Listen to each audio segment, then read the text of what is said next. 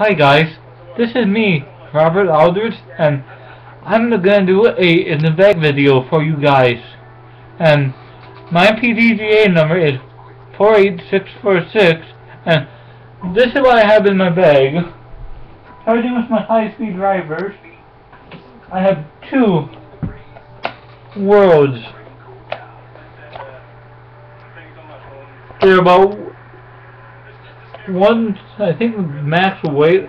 They're really close to max weight. One is a one, nope, 171. Hmm. If you like heights, this is the life. Being out here gets your blood And a 175 gram. Just Two Westside Kings. We're done. 173. Wait a minute. Shit, this is not my thing.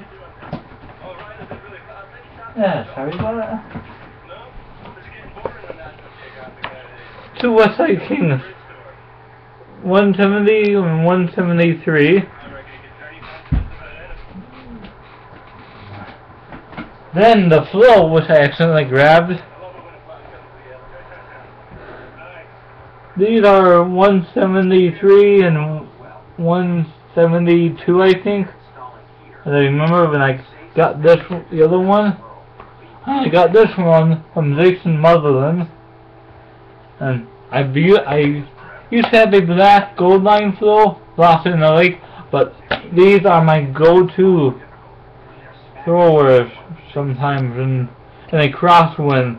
I keep these back because when they are gliding in a crosswind, they go a long distance and they do what I need them to do.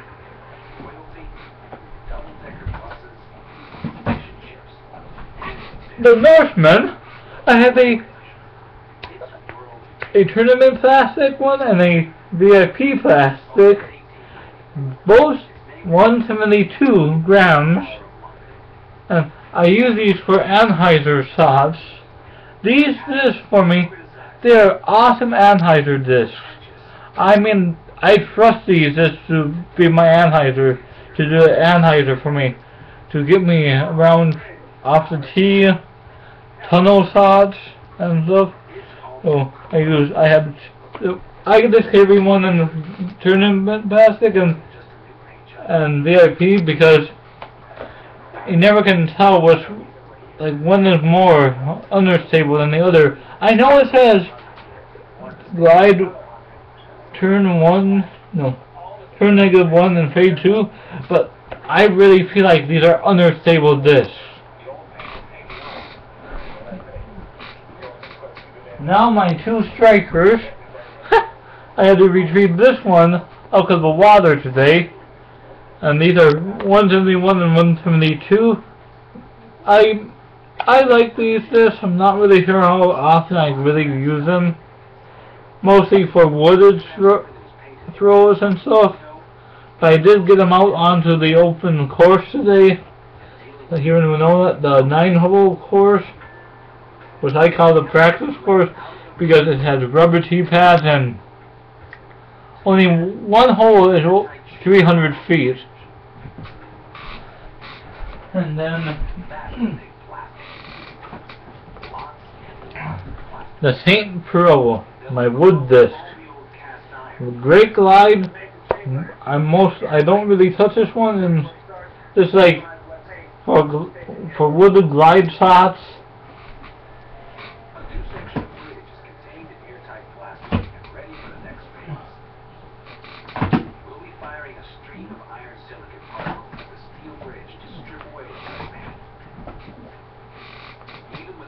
Now I'm going to talk about my mid my mid ranges. I have three mid ranges. The truth, my straight my straight mid range, over table mid range is a suspect, and the mace is my understable one. I love the mace. The first time I tried a mace was last year, and I just fell in love with it. And this is my second mace. I got my first first run mace hanging up in my bedroom, which is all beaten up after one year of throwing. I just decided to hang it because it's a first run one.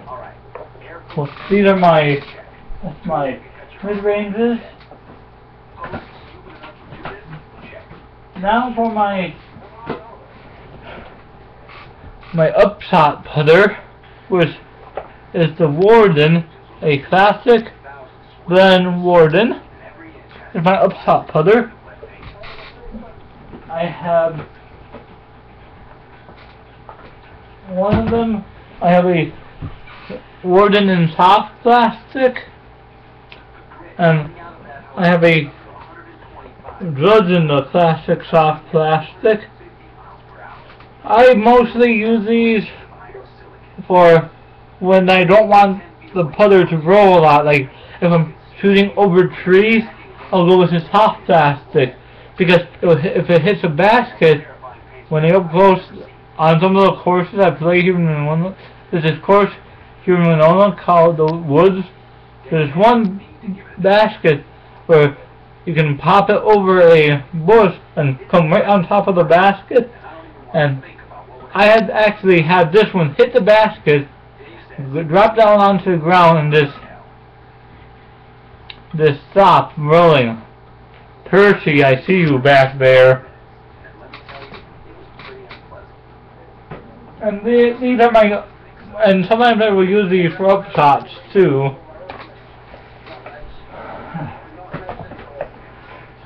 Now on to my main putters the Judge and the West Side Swan. Yes, I've actually got a Swan in my bag now, and it's become one of my main putters with the Judge.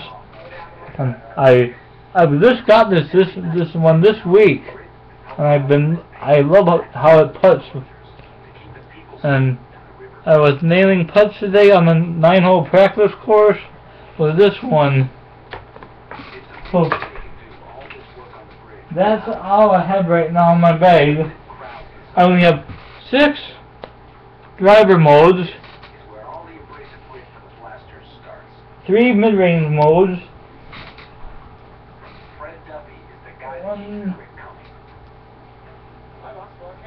and three putter modes. So that's what's in my bag. And my mini marker I have is a pipe dreams tap mini marker because they're the local store here and and that's where I get my this from and I like buying from local company from local stores because you support the local economy and it will help grow your your community by supporting local stores like Pipe Dream Toys which I go to for my discs. I use a dynamic disc bag. So that's what I have in my bag right now.